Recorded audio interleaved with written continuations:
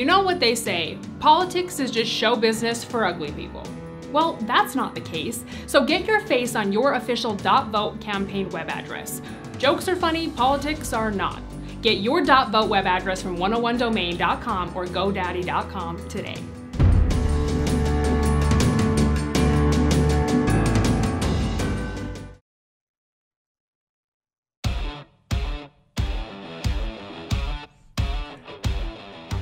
Welcome to another episode of Breaking Battlegrounds with your hosts Chuck Warren and Sam Stone. Merry Christmas, everybody. Merry Christmas, Happy Hanukkah, leading into what we hope will be a fantastic new year for everyone out there listening. Uh, on the line with us right now, a guest Chuck and I are both very excited to have on the program. Hopefully, spread a little bit of Christmas cheer alongside uh, your affable hosts here. Richard Paul Evans, number one New York Times, USA Today, and Wall Street Journal best-selling author, uh, best known for writing The Christmas Box, and most recently his book The Noel Diary is the number one movie on Netflix, starring Justin Hartley. So, Richard, welcome to the program. Glad to be with you. Thank you. So, Rick, it's it's been quite a journey from the years you were doing campaigns for Norm Bangerter and Senator Bob Bennett, hasn't it? Quite the journey. oh my goodness! Yeah, I never thought I would end up here. You didn't. I mean, it wasn't written out on a yellow pad. I, you know, I thought I was going to be in politics actually. Right. So, if you remember, I ran for the state legislature, uh, state legislature when I was running Bob Bennett's um, marketing campaign. I lost by 100 votes. Best thing that ever happened. That's when I wrote the Christmas box. well, what's amazing about that, and that's a good lesson. So here's a book idea. Just how sometimes we think we have a path, and God takes us a different direction, right? And you probably have done more good for so many people versus if you have been in the state legislature and maybe beyond. Cer- certainly has fewer gray hairs. Yeah. uh, I'm completely gray, so that's not true. but, but uh, this is, I'm sure, a lot more fun. This is, um, you know, we started the Christmas Box House. We've helped more than 135,000 abused children, and um, it's it's been an amazing ride. It still is. Well, I want we want to talk about your your book, The Noel Diary, that's on Netflix. It was number one the week it came out, and then we also want to talk about the Christmas Miracle. But as I was doing a little research for this interview, um, you told a story, which I hope you'll share here, about how you were up at a filming for one of your movies in Canada, and you had dinner with the producer after, who had done hundreds and hundreds of movies. He was well known, and you asked him the question, "What did it cost you?" Could you share that with our audience? Yeah, yeah, it was it was a really touching, and and um, I'm a little I'm a little uncomfortable sharing it because of a private, you know, the private Right. conversation, but obviously it's out. Um, you know, I just he was telling me about the movies he's produced, and he's done some amazing amazing things in movies that you've seen, and and um, and it just struck me. I said, you know, you, you're that successful. What did it cost you? And he he got very serious, and he looked down and he said, um, everything. He said, my wife's leaving me, and um, it was it was a really powerful moment. You know, it was a really powerful moment about choices and decisions, and um, you know, I felt, you know, it was just a very moving thing, and it was a good it was a good life lesson as well. So that story, I think, would be a good basis for many of your Christmas books. Um, they're about redemption. They're about introspection. They're about forgiveness. Why is this de- this theme so familiar and so paramount in the novels you write? Well, I, I mean, it, my book, The Christmas List, that was about seven years ago. That's, completely the thing. Um, and, you know, the, the idea of staying with what it matters most, you, you know, because there, uh, when you're, you know, when you're looking for joy, I mean, I, I think right now in my life, it's like what brings me most joy. And Carrie and I are empty nesters now, and and um, we're really enjoying it. And she got a dog. we get, and we get up in the morning, and our little Cavapoo jumps in bed with us. And the other day, I just leaned over and said, "You know, Carrie, I'm really happy. Um, I'm just really happy. I just, it's, we have a good life. We, our daughter, um, we have our first doctor in our family. We went to Texas. She went to TCU and graduated. And um, when they said, you know, Dr. Allison, it's like, it's, what a thrill. And, um, you know, we worked hard in those, as you know, we worked hard in those early days, but always staying focused on uh, our family and, and just doing our best as parents. And of course, we screwed up. Um, but there was never a lack of love there, and to see it pay off, and the, the fact that we have good relationships with all of our children, and they like it, that they like to come over, that they we still get together. I mean, that is really the thing as you get older. It's really you see as the greatest blessing. Well, hopefully, in a family conversation, the comment will not come out that you and your wife are very happy that you're empty nesters, and when the dog jumps up on the bed, you're really happy oh, now. Oh, th- they know that. we, we, tell the them. cat's We're out very, of the bag. That's the other thing. We're very honest. and they think it's funny. My son calls the dog my second son. um, let's talk about the Noel Diary and Yes. how I went to Netflix. And first of all, Justin Hartley. It's just almost not fair someone's that good looking, is it? Oh my gosh, I had no idea just how handsome this guy is. Uh, just every time I say his name, women they like they turn a different color and they melt. I've never seen anything like it. I mean, it, it's amazing. And when um, Carrie and I got to do something really fun, something I always dreamed of, we we went to the Hollywood walkthrough with the red carpets and all the celebrities and all the stars, and it was like it was so much fun. And um, but Justin wasn't supposed to be there because he was doing all the New York TV shows, right, promoting the movie. And Right. he showed up. He showed up. He got, got on a plane and flew out, which was really cool of him. And and um, so Carrie goes. Carrie was saying, "Yeah, too bad Justin isn't here. I wanted to meet him." I said, "Well, turn around," and he was right there. and, and I go, and um, I go, Justin. Um, I go, "Wow, you're really tall." He goes, "Yeah, he's taller than you think." And, and yeah, I, hear that. I said, "You're very handsome." And he said, and, and he said, "Well, so are you." And I said, "No, you're claw your eyes out handsome." I go, "You're at this whole other level." And, and um, he was he was really cool. Yeah, a- and see Jamie here in our studio is shaking her head because he hasn't been any in any Star Wars uh, features, so so she does not not care. He'd be good in Star Wars. He'd be good in Star Wars. So, Well, he'd certainly be better. What was the what was the guy who played Anakin, the paste, paster board in those Skywalker, those three? Oh, that was terrible. so um, tell us about the Noel Diary. What what? How do you come up with these ideas? Well, Um, every, you know, they say every book is about the author, and, and that one is really true. In fact, director Charles Shyer found out that showing it. He, he asked me that, and I said, "Well, it's it's partially my life." He's like, "What?" He goes, "Are you serious?" I go, "Yeah, it's based on my life." Um, when I was when I was um, a baby, my mother was hospitalized with depression. My mother really struggled with mental illness, um, and when um, I finally in my 40s go, Dad, who watched over me? I said, Wait, I'm a baby for that for that two years. Who? Someone had to have me. And his response was, "Well, I didn't have anything to do with you." I said, "Yeah, I know that, Dad." It's like, so who? I mean, you didn't just like leave me there. To, and he goes, "Pam," and I go, "Who's Pam?" And she was an unwed mother. And um, my dad was a social worker. And back in those days, if a girl got uh, pregnant out of you know, out of wedlock, they would just send her another city. They just denied she existed. They just wanted to hide her. Could have brought so much shame on the family.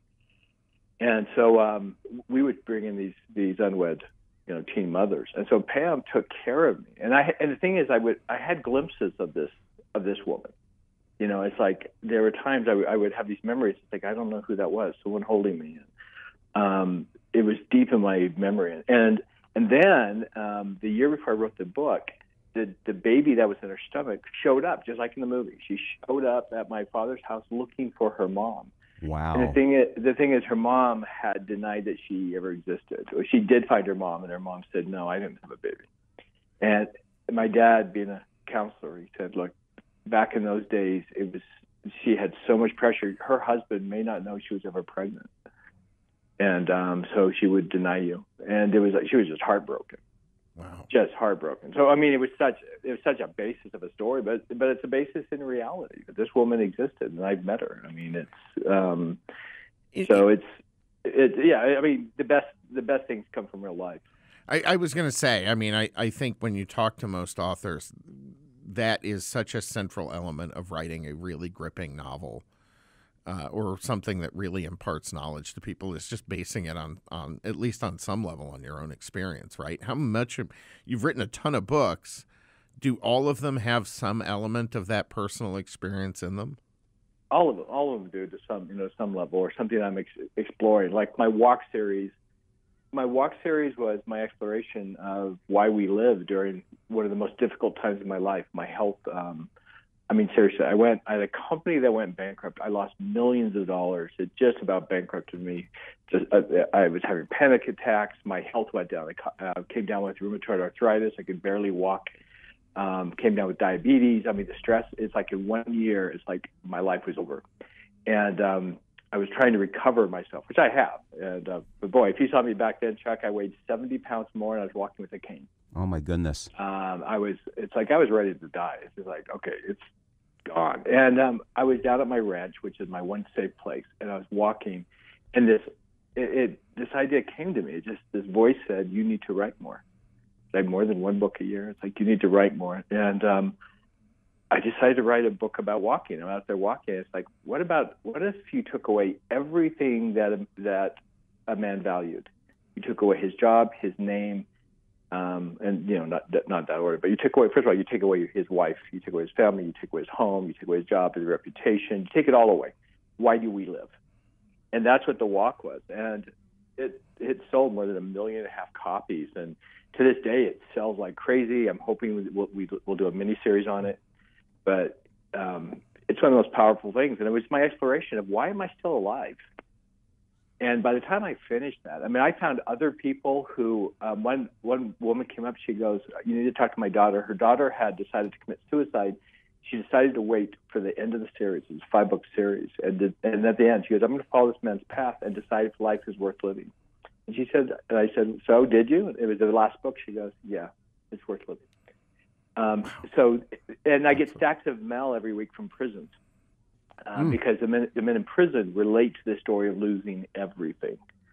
And so, um, you know, when we connect to our to our deepest selves and to our cores, that's when we really connect with others. Boy, I, I hate to suggest a new assignment, but that seems like a book in itself is those letters. Um, you know, I kind of did that with one of my um, with the Christmas box books. Uh, with the Christmas box book, I wrote a book called The Christmas Box Miracle, uh, there were so many miracles and people showing up. I mean, it was it was it was amazing. People were um, hearing voices telling them to go in the store and buy the book. I heard that at least six times. They walk into a mall and a voice says, "Go in the bookstore and buy the Christmas box," and they went and bought, it, having no idea. Because the Christmas box is healing for people who have lost children, and in every case, they had just lost a child. I saw so many miracles like that that it was almost it got to the point that you couldn't deny it. It, it would be absurd to deny it. And when I wrote the Christmas Box Miracle, um, we Simon and Schuster actually hired a private eye, or well, actually they had a law law firm going through to make sure everything was was true, and I hired a private eye to track everything down. And what we came up with is the miracles were actually bigger than we thought. Wow. Wow. So, uh, we're with Richard Paul Evans, New York Times bestselling author. He is the author of The Noel Diary, which is the number one Christmas movie on Netflix. I've watched it. Kylie's watched it twice. He's also just come out The Christmas Miracle. This is Sam and Chuck with Breaking Battlegrounds. We'll be right back.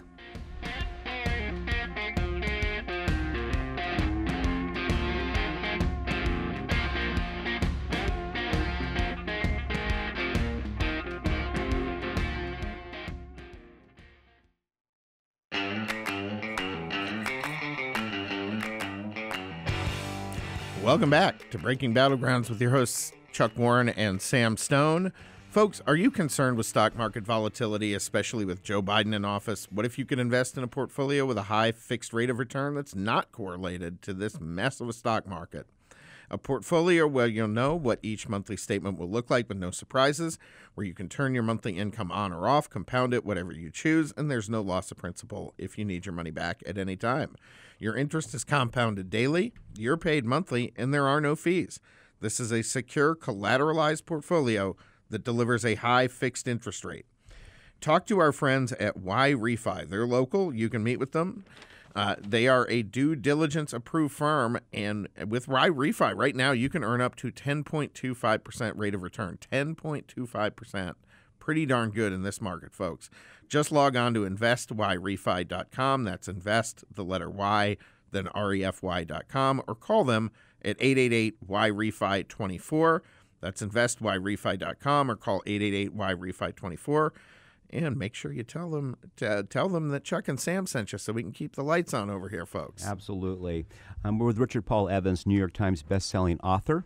His most recent release is The Christmas Memory. I got the name incorrect in the previous segment, and also The Noel Diary, which is on Netflix now. Highly recommend you watch that with your family. It's a great, great, great, great movie.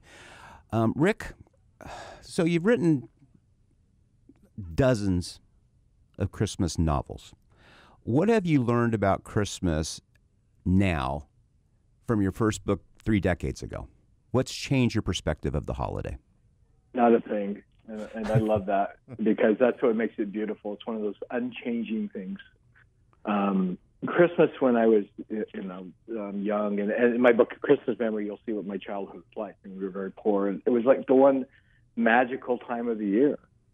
Right. And um, the fact that that can remain, um, I, you know, I love I love this season, and I uh, it just so one time I can kind of let let myself down a little bit. Um, the one big change is because ever since the New York Times coronated me the king of Christmas fiction, I, of course I'm, you know, like I had 22 media interviews yesterday. It's just like it, it, it's become insanely busy, um, but it doesn't change the fact that it's you know such a beautiful season. I, I, I got to ask then, how decorated is your house? Like, are It's you? Are, It's Okay. it, it's I have we have beautiful lights outside, and we um, I pay a friend who's uh, to do our tree. They're gorgeous. But Carrie suffers from really intense OCD, and and she can't do clutter.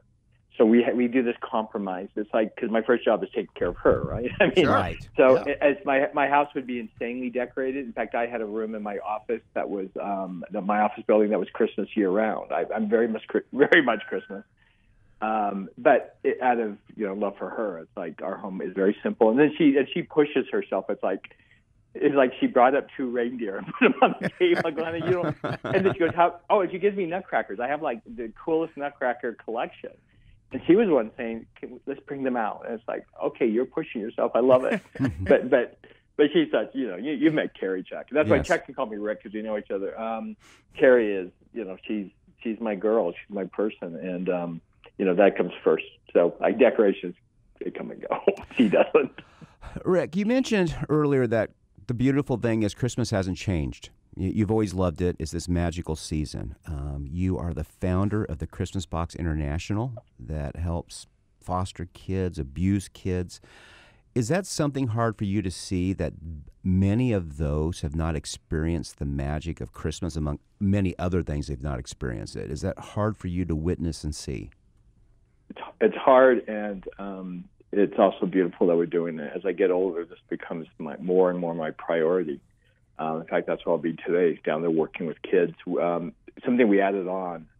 I don't know if we were doing this um, when I, I when you were around, Chuck. We we we took over from the county uh, the Christmas program because our the Christmas box house is so efficient. It runs so well. The people are we're such we're just such they're such good employees. They're so dedicated. They've all taken pay cuts, and um, because of that, we had to trust the community. And so we were bringing in all the donations almost for the count for the county for Christmas for these abused um, children. And they finally just said, "Why don't you guys take it over?" So we do Christmas for about 2,500 um, abused and neglected children and teens every year and it is it's amazing. But it, you asked if it's hard. I remember we um, when we used to go down. Um, we don't like to keep kids in the shelter. We usually get them with families, but sometimes you can't. And we went down there, and there were two boys in the Christmas box house. And when we came in, we were going to decorate cookies. They didn't want to have anything to do with us. And they went over, they turned the TV off and said, The Evans are here. You're going to go decorate cookies. And they turned it off, and the kids pulled hoods over their heads. And I go, Whoa, whoa, whoa, whoa. No, turn the TV back on. I said, They don't have to do anything. It's their Christmas. And then I walked over to them and I had these two cans of Frosty. And I go, Hey, guys, um, you guys don't have to help, but I bought these for you. And gave them the cans of frosting, and they're like, These are ours. It's like, Yeah, you can eat it. Don't eat it all at once. It'll make you sick. But, and they're like, Really? And then one of them said, Well, we could help. And they came over and they had such a good time with my daughters. And I remember walking out afterwards, and we spent about an hour just decorating cookies. They did like 20 cookies. It was great. And we walked out, and my daughter was crying. She was, Dad, how could someone be mean to those boys? Mm. And I said, it's, it's just, she goes, it's awful. I said, yeah, it is, honey, but aren't you glad that we have a place for them to protect them? And, and she just turned to me and goes, I love you, Dad. And it's like, those are the kind of moments you never I get choked up. You never Right. forget. It's like, yeah, there's always going to be pain in this world. It's just the way it is. It's like, but if we can step out and try to make it better, and now I'm old enough that uh, these kids come to me um, as adults and will come to me and say, "You have no idea the part you played in my life, and the hardest time in my life because of what you did. I got through it." And um, it makes life so worthwhile. It makes it's just like you know, and I could die now and, and feel like I I made a difference in this world and I blessed some lives, and that's what it's about. How do people donate or volunteer at the Christmas Box International, Rick? Oh, you- they can they you can go down there. You can donate like on a one time basis, or then we uh, and otherwise we have to do background checks. We protect those children at all costs. Good. Um, but go to Christmas. Just go to um, thechristmasbox.org, thechristmasbox.org, and uh, there's ways to give. But um, Chuck, more than 84% go directly to the kids, and then we magnify that. The program is so good. It's just so good. It's so smart. It's one thing to have have heart, but this is has brains too. It's a program that we can magnify any donation and do more good. So only way we can we can And- you know and- help help that many Right, kids. and you use your resources wisely. Charity Navigator has given you guys a great rating. It says you can donate with confidence, and a lot of charities aren't that way. I, mean, I think the law requires ten percent to be given away, and you're doing eighty-four percent. So fantastic. Yeah, it's I, I love I love Christmas box. The only thing that was down on on our charity was it says like they might be unstable because they have big loans. The big loans are to me. I load millions of dollars to keep it going, and I haven't re- required. They don't pay interest. I haven't required to pay back because um, you know this is what we want to happen someday. I would like if, if it becomes bigger that they you know pay back my kids someday. Right, right. But uh, it's it's a beautiful thing. I love the Christmas box international. That's an ama- It's an amazing thing you're doing. I know my folks uh, do something on a much more limited basis with the local shelter in their little town, um, where there's you know there's a foster care shelter there. Um, a- and folks definitely get out there. Log log on to I think uh, Richard you said the ChristmasBoxInternational.org. Well, or just actually just do this. That's the Christmasbox.org. Just go to richardpaulevans.com because I have all the things we do. I have I have the charity. There's everything. So that's easier to remember. richardpaulevans.com. You can even get free cookie recipes. on my You, you can't beat that, No, folks. no, no. Free cookies and good things for the holidays. More with Richard Paul Evans when Breaking Battlegrounds comes back.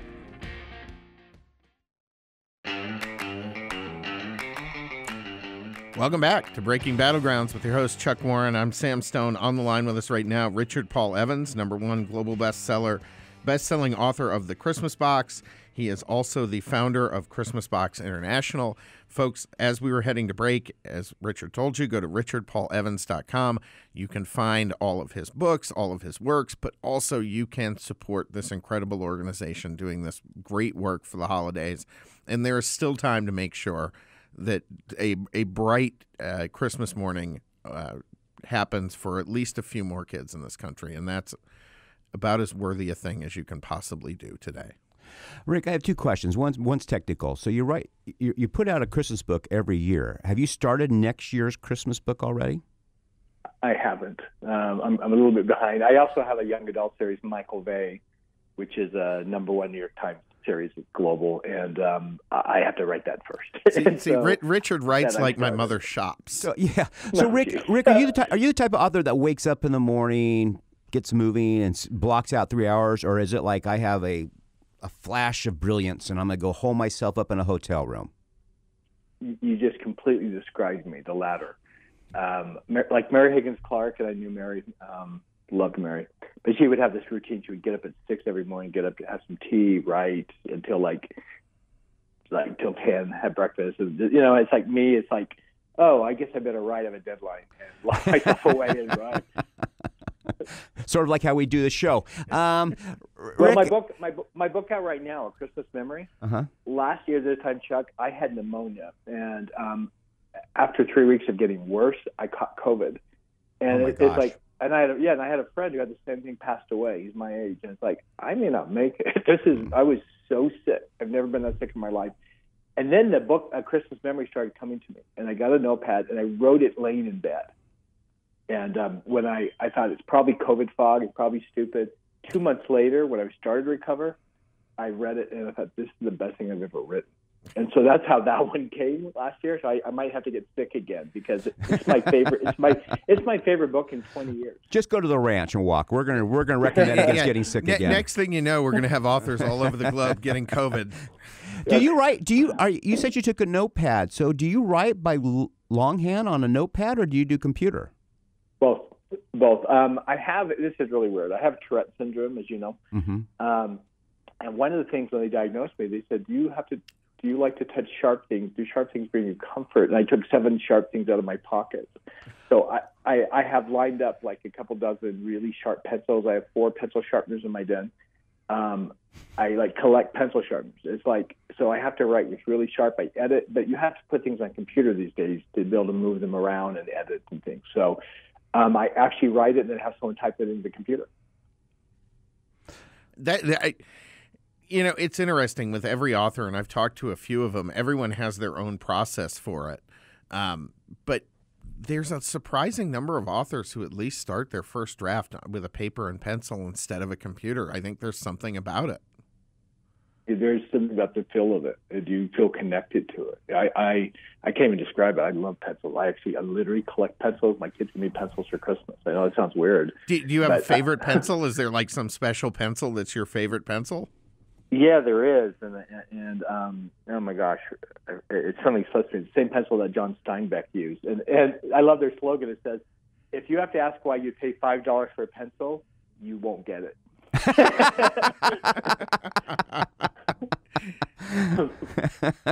Yeah. So so this is the company that that makes the pencils that Steinbeck used. Yes, they've been, they've been making pencils for 100 years. It's the most amazing pencil ever. The eraser doesn't look anything like it used to. They're amazing. Okay, now I, I'm I'm gonna have to we're gonna have to back channel this. I need I need to know where this pencil We will- where I we get will this find out. Yeah. Rick, we have two minutes left. Um, share with our audience what Christmas means to you, and give them a challenge this Christmas. Is it being introspective? Is it going out and reconnecting with family and friends who've been lost in the past? What what what what does it mean to you, and what's the challenge for our audience? Christmas is, is is a time of introspection. I'm I'm a Christian, and to me, even though you know it wasn't really Christ's birth at that time of the year, it doesn't matter. It's a time that we that, as Dickens said, we see each other as as uh, fellow passengers to the grave, and I think that's what it is to me. That we step aside, we step back from our businesses, from our causes, we step back, and just extend grace. Uh, one thing I found on the road this year is like people are really angry. I actually had a woman Yeah. shove me at the airport. I mean, they're really angry and unhappy, and it really is a time that we need to step up. That we need to just look to act in sincere kindness, and and to look at each other as like, hey, we're not here forever. Let's Right. let's take care of each other. Yeah, fantastic. Thank you so much, Richard Paul Evans. Folks, you can follow all his work and support uh, the charity, the Christmas Box International, by going to richardpaulevans.com. Richard, thank you so much for joining us. We really appreciate having you on the program, and uh, I think hopefully look forward to having you back in the future here, possibly sometime around next Christmas. Would love to, and it's been a lot of fun. Good good uh, connecting with you again. Thank you. Fantastic, folks. Breaking Battlegrounds will be back in just a moment.